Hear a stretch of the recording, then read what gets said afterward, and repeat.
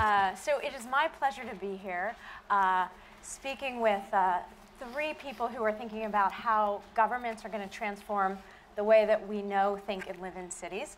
Uh, so I have Ashley Hand, who is the Chief Innovation Officer of Kansas City.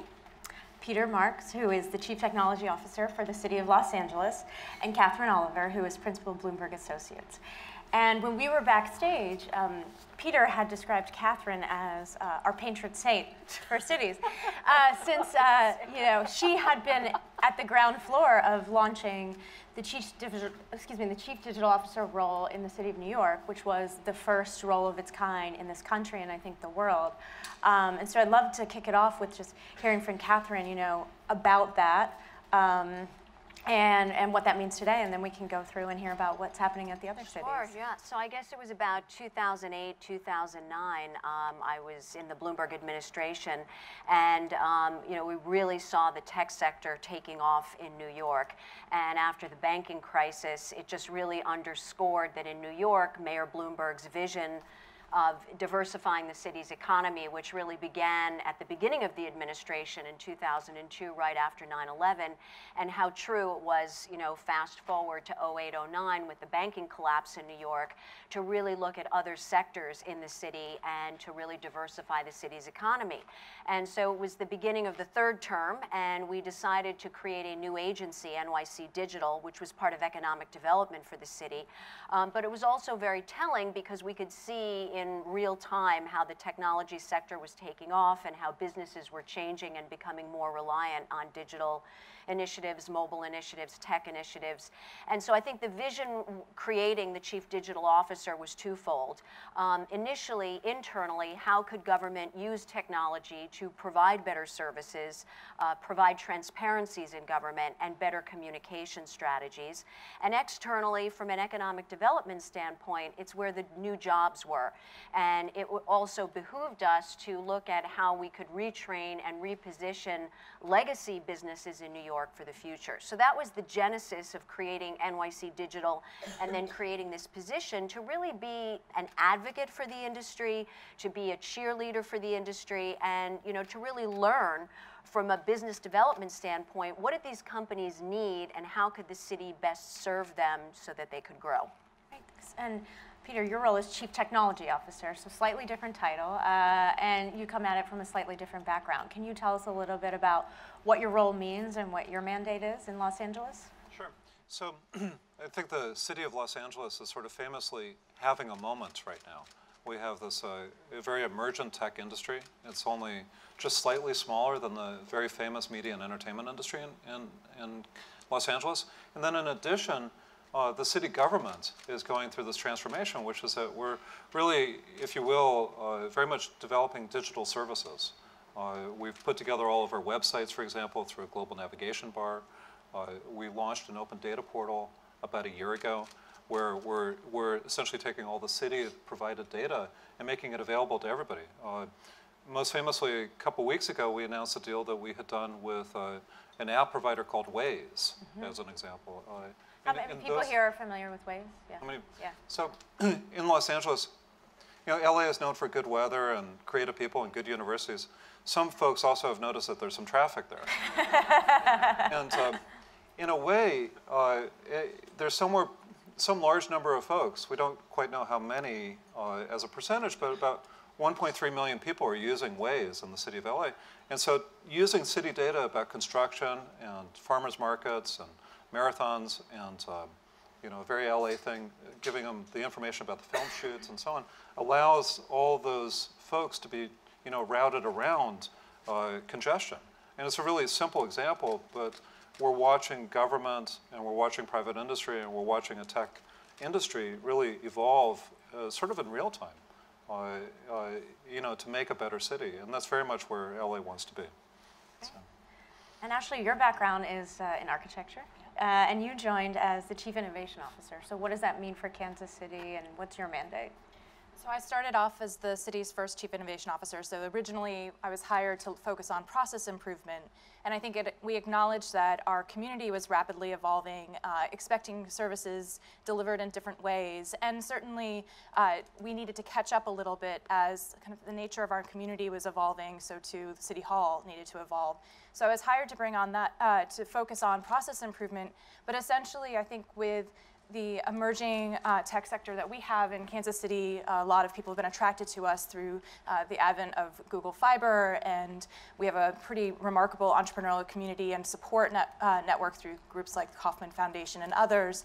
We've kind of started to look at how do we better leverage public-private partnerships to provide better services not only to the communities we serve, but also to attract more people to come in and do work in Kansas City. So creating environments where government serves as a platform for innovation, where entrepreneurs can come and test their ideas with us is another part of what we've tried to do to continue to evolve what it meant to uh, partner with the, the public sector. Mm-hmm.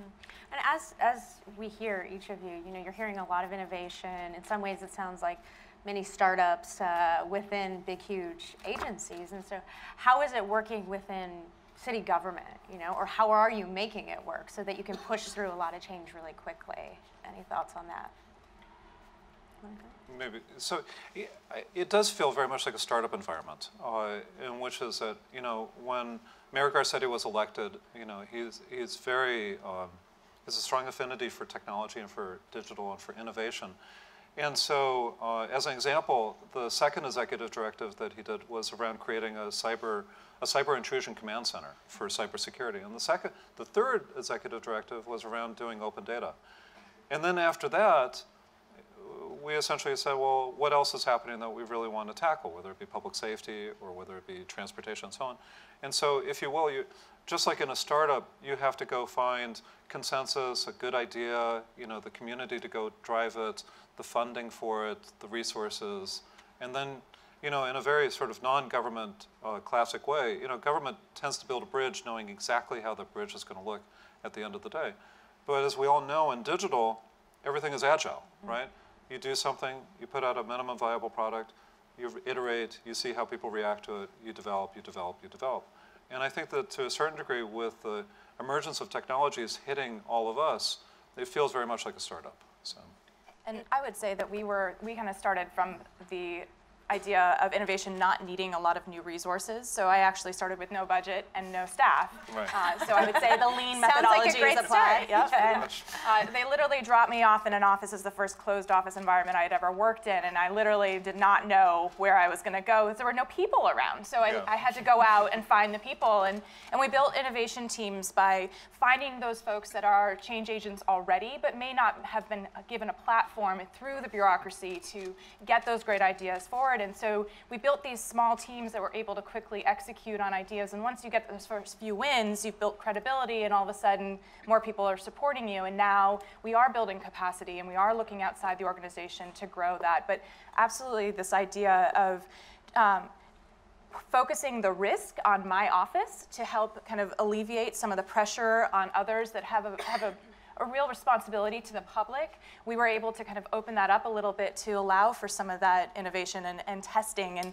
and sometimes failure. Not everything's been 100% successful, but I think we've made some really great but progress. But I think, you know, for all, the three of us came from the private sector to yes. government, and I came from Bloomberg, which was, you know, very technologically mm-hmm. savvy, and then going to city government. I mean, literally in the agency, the first agency I was working in, the Film Commission, they were working on electric typewriters and processing permits by hand. So after coming from the world of Bloomberg to that, I mean, it was astonishing, but a lot of city agencies were structured that way. But the other thing that was really interesting, and it still exists, is now in my new job as uh, at Bloomberg Associates, we're consulting with other cities, is that so many city agencies and government it's siloed, mm-hmm. and the agencies are not talking to each mm-hmm. other. And for years, they've been working. So the fire department, you know, is not communicating with the police department or with the parks department. And so I think now with technology community that connects them more effectively. And so I think that certainly helps. Um, and I think also going into the closed office space, you know, we tried to create the open, you know, bullpen atmosphere within government, and now you're starting to see more of that. And I think that, again, you know, having some of these private sector sensibilities and being applied are being helpful. Um, the other thing is creating public-private partnerships. When we started NYC Digital, you know, and we went to many agencies, and they were like, we don't have the staff to, you know, to hire social media managers. But lo and behold, they actually had people, mostly their communications folks, were tweeting and, and starting to use some of these social media supports. Um, but the other staff members didn't know how to use these tools. So we went out to Google and Facebook and Mashable and to um, you know Hootsuite and several others and created training programs um, so that it was a great way for these companies to be good corporate citizens in New York and to give back to their local government. And that's something that we're doing as we go to other cities now. We recently did that in Kansas City with Hootsuite um, and another local company that basically came in and was training the social media managers and communications folks within the government.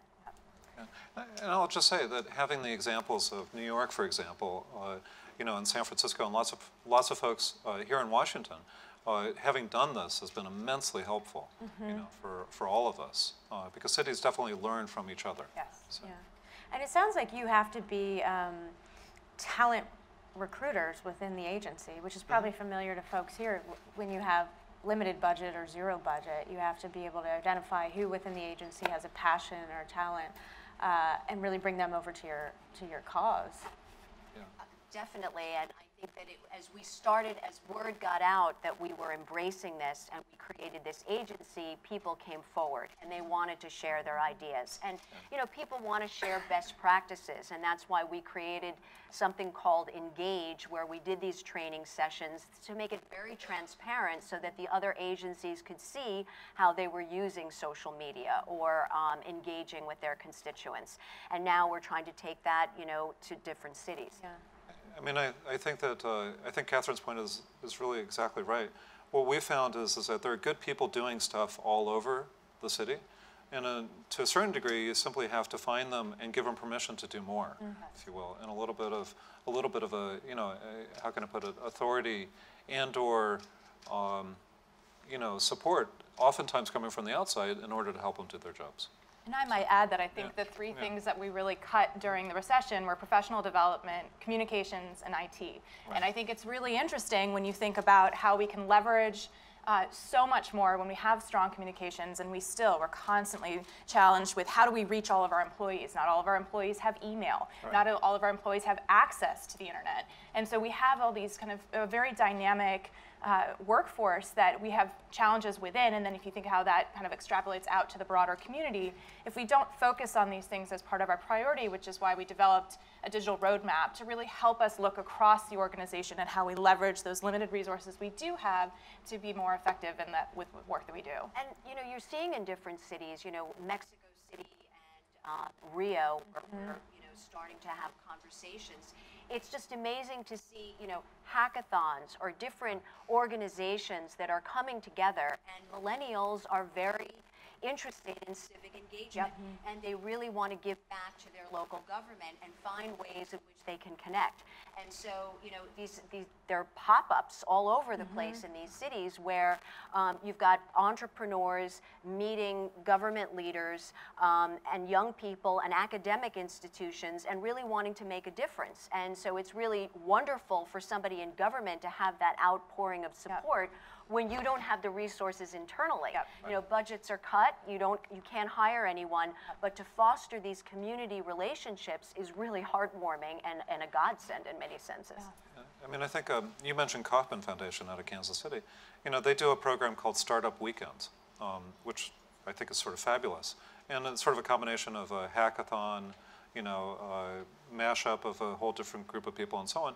And we've been doing a lot of hosted events and working with a lot of organizations around the city to get folks to come in, not just into City Hall, although we did that too, uh, total fun, but in addition, getting folks all over the city to actually go and say, okay, how do we get together, have a little fun, create something, you know, and build a team out of nothing? And it's a, it's kind of a great model that um, is less than just a few years old. And you So, had a, an amazing last summer, the Open Right. Data Conference in LA, and that was a perfect example of that. Well, I, I sort of make a joke, you know, come into City Hall and have fun. Well, we actually had 2,500 people. Literally. Yeah, 2,500 people. And we did a, a jobs fair, a tech show, you know, where we had everything, you know, out in front of City Hall and in City Hall. Uh, we had a conference. We had a meeting of Mayor Garcetti's initial meeting of uh, Technology and Innovation uh, Council. And then we also held two hackathons. One hackathon for the adults. Okay, cool, big. Uh, but also a hackathon for the youth. Um, total fun, total fun. And by the way, they won. And what they were doing was is that they were using city data. Okay, maybe that's not so exciting, but they were using city data to explore their city and make a better city, which actually was total fun. So. And I might, I Yeah. think one of the things that we've seen is that there's often a challenge with, it's great, people want to get engaged and there's new ways and new channels, but the city doesn't, has, has learning, it's ad- adapting its culture to figure out what to do with that input and with that engagement. So it's not only having a list of asks when a private partner wants to come up and, and, and do something for the city, so understanding what our needs are, but then also what do we do with that engagement? And I think that building that culture and for us, we've created the Innovation Partnership Program with the intent of creating a platform where once those great ideas come out of the hackathon, then you can partner with a city department to test that application that you've developed in real in a real environment to actually see how it works and kind of give you one more step in the proof of concept to p- potentially even building a business out of it. And how much of your role, I mean, the, our title is How Can Local Governments Support the Tech Industry, right? So, how much of the role is thinking about bringing in the tech industry, doubling down on the tech industry, uh, rise, raising it up w- among other industries? Well, I think that, you know, looking back on the years when we were in New York and again now experiencing this on the road, I think that you have to understand first what is the mission? What are you trying to accomplish? Because there's so many different layers here. Right. And when you're thinking internally, how can you know, your agency or several agencies within government survive um, and use these tools. It's um, training, um, but it's just being very clear on the message. So you've got to identify what's the strategy, what's the goal, what are we trying to accomplish, and then you've got to take it to the other agencies and convince them that this is a good thing to do as well. So you've got to sell it internally, and then you've got to do the training, and then you've got to do the implementation, and you've got to be mindful of the maintenance of that and to keep it going. And I think that creating the public-private partnerships will ensure we've all experienced dramatic budget cuts, um, you know, and I think having the public-private partnerships ensure that there's uh, you know, uh, continuity. And also after the administration ends, you know, and we experience this after three terms, you know, you've got to learn to let go and you know that somebody new is going to come in and you hope that a lot of your programs will remain, um, but the public-private partnerships help ensure that there's continuity of those programs. So I think that that's the critical component. I mean, there's a, uh, I- how many people um, have these? Anybody here? um, but you know, I think more people have those phones than raise their hand. I know it's the afternoon. Come on. I'd be willing to bet that there are more of these than there are actually people here. Um, I I wouldn't counter them. But there's a, you know, so it- it's sort of transformative because um, I- I'll give an example. So a fire chief up in San Ramon uh, uh, witnessed somebody having a cardiac arrest. And um, he realized that he knew CPR and he, and he had this idea, well, what if we actually were able to tell people uh, nearby to somebody who called 911 for, for a heart attack that in fact somebody was having a heart attack and somebody who knew CPR could actually come render assistance. And so he created a foundation called Pulse Point. And uh, we deployed it in Los Angeles pretty recently and it's tied into our Fire 911. And so uh, you have the firefighters who are using the app, you know, because it tells them more about what's going on.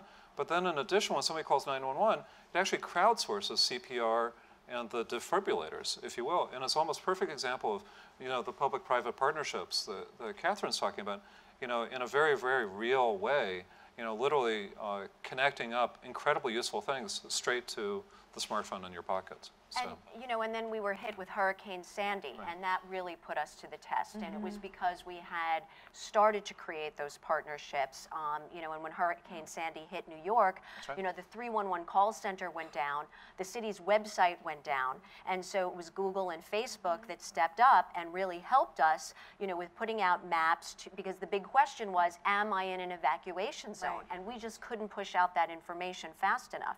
And so we had built, you know, and, and, and laid the framework for those kinds of relationships, but it's during a natural disaster at that level, or even during a mm. snowstorm, or now you're dealing with the drought, Yeah. you know, that these, pushing out that information, city government just don't, doesn't have the capability to do that. And I think there's also, technology has also changed the type of issues that government or city hall has to contend with. I think the sharing economy mm-hmm. has challenged a mm-hmm. lot of local governments to think differently about rules and regulations that are often built or an accumulation of bad experiences, and that's why we have these ordinances on the books, because something bad happened, we reacted, and council passed a rule to make sure it didn't happen again. And that's our role as government, is to provide for the general health and safety of our community. And I think we have been really challenged by kind of the advent of new technologies to really think differently about, you know, what is the intended outcome of our policies? How do we regulate things in a space that we don't, it's not traditional, it's not something that's brick and mortar that we really understand. And I think understanding that and partnering with our community to ha- navigate those issues has been really essential for us as an organization to evolve as quickly as our community has been. So you're being consulted by some of the policymakers on Absolutely. on these issues. Yep. And talk about sharing. I mean, each city is clearly very different. Uh, you know, we're here in the Beltway, which is its own special place and has become a very smart city, and as I was saying, a very cool city. Uh, but I think, given how much we all have on our plates and again limited resources, you've got to share what works. So, are there templates that are existing? I know Katherine, you're doing a lot of work on this. Well, we just, you know, we're thinking about it, and I think that wh- wherever we go, other cities want to know what's this other city doing. And so everyone wants to know what's happening in LA, what's happening in Kansas City, and people want to share ideas. Mm-hmm. So it's not just, you know, when I was just in New York, it was agency to agency, mm-hmm. but now it's city to city. And we've been talking about different ways in which we can make those connections. You know, we get together periodically, but we probably should do more of that and, and maybe have a shared resource online so that chief digital officers, innovation officers in other cities can, you know, can share best practices or even share some of their challenges or even if they're lucky enough to have the budget to hire people, they want to hire the best and the brightest. And so that would be an opportunity to develop. And I know when I joined the city, I was one of about a dozen chief innovation officers across the country. And so it was a very small network that we convened very quickly to, to share because we, we have, although our cities are of a different scale, some of the problems are very similar. And so uh, it's, and it's a lot easier to make a case for bringing something new to a city when you can demonstrate the outcomes and the lessons learned somewhere else. So we benefit from each other. Um, I have a very good relationship with Dan Hoffman out of Montgomery County, and we're both working in the smart city space. And so we learn a lot from kind of how we've approached setting up the different relationships with, with uh, different companies and things like that. And I think that's really critical because it's, it's a, there's a lot of new things, and so working together has helped us be able to navigate those things. We're also in a period where, um, you know, we're- being affected by great technological change. I mean, just full stop. It's hitting every part of our lives. And since most of our lives in cities, you know, by definition, it's hitting cities uh, big time. You know, whether it's new paradigms, ride sharing, you know, all this sort of stuff. But then in addition, uh, we can all see it coming with connected cars and eventually autonomous vehicles and all this sort of stuff. And we're, you know, body cams on police officers. Uh, technology is hitting everywhere, digital services. And so, to a certain degree, um, cities, you know, are sort of facing this incredible wave of, of uh, disruption and change, to sort of use those terms which are overused. Um, and we're all learning from each other doing it. What's happening in New York is really quite influential, but also what's happening in Austin and Kansas City, Shanghai, you know, you name it. Uh, these cities have, you know, it's sort of the old joke about families. They're, you know, well, anyway, I won't, I won't repeat the joke, but cities are to a certain degree the same way, which is that we all have similar problems, but they're all slightly different. And uh, learning from each other has been, you know, uh, is fundamental. And I So- think there's some basic questions that we're coming across. I mean, this is still relatively new new, to most yeah. city governments, using a lot of this technology or using social media. Mm-hmm. So we're getting questions like, you know, tweets a day should Right. we be putting out? Or how many Instagram photos should our mayor be posting? You know, I mean, so it is a very, very basic approach. And then it goes to the other end of the spectrum, you know, where there's massive innovation and, you know, like partnership with Waze and what you were talking about and how, you know, you're, you're pushing out information and creating these new alliances that we wouldn't have expected. Yeah. Um, so today is actually National Bike Day, uh, if you all noticed, which is a fitting day to have this panel. Um, and so, closing question: What is another city doing that you hope you can accomplish, uh, or something that you think should be inspiring to us all? Oh, that's a good question. Well, I, I just came back from Rio, and Rio is, you know, getting ready for the Olympics, and, um, you know, they've got a tall order ahead of them. Um, but they have really been in the forefront of using technology, and they have such a sense of design. And so everything from their call center to their emergency management system, how they're working with companies like Waze. It's just very, very innovative. But they came up with such a clever idea. Um, they have a marketing company in Rio called Prole that does a lot of the branding for the city and does a lot of design. And so the mayor, Mayor Paes, is very dynamic, and um, they sold him on this concept of creating a a character. It's called the um, Explainer, who is a stand-up comic in Rio, and he's the alter ego to the mayor. And so they produce these short videos that they stream out. So when the mayor gets hit with these controversial questions, he lets the explainer, you know, do this whole skit, and it's gone viral. This whole campaign, and it's just a very clever way of using media diffusing it with some comedy, but also pushing it out on the city's platforms, but creating partnerships with the local media that I think is quite clever. Seems to have worked also at the White House Correspondents' Dinner for the Absolutely. president. Yeah, so I think, Maybe he'll show up next year. yeah, that's the new model. Yeah, we should get him up. absolutely. How about you, Peter? You know, I think um, one of the one of the things that is emerging, which we're going to see, is so there's this whole concept of the Internet of Things and a lot of discussion around all that sort of stuff. Um, and we're watching, you know, national debates about net neutrality and the open internet, uh, municipal Wi-Fi, all those things. And there's a, um, a development that is coming in New York called Link NYC. It started with the Bloomberg administration, and and De Blasio's administration is really doing a great job with this. And it, what it is is it's reimagining city payphones. Uh, you remember those things that you all ignore? Um, and they're reimagining them as kiosks, as uh, free high-speed Wi-Fi. Uh, by the way, they, they, they're toll-free calls to anywhere in the country, uh, which is what you would expect. Uh, so it's really not a pay phone anymore. It's now uh, an information source, but oh, by the way, it's providing broadband connectivity to the internet. Because I think we have a big challenge with digital divide, full stop, mm-hmm. right? We have issues with equity and diversity and digital divide across technology.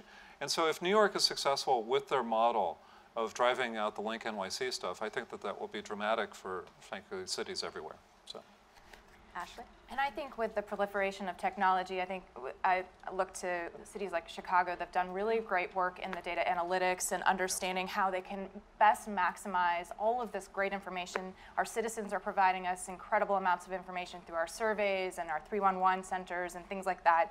How can we use the information that we already have within City Hall to do our job better, to better align the resources to needs? And I think that's something that we're, uh, as we see the proliferation of more data sets through smart city technology and other uh, channels, I think we start to uh, get a little overwhelmed. And so I think looking to cities that have done a really good job of, of bringing that capacity to analyze that data and understand how that translates into change is going to be really critical. The next, Oh, go ahead.